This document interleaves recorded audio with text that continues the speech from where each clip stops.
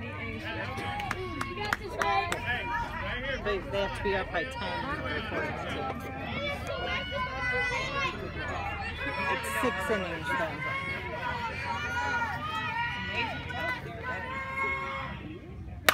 Wow!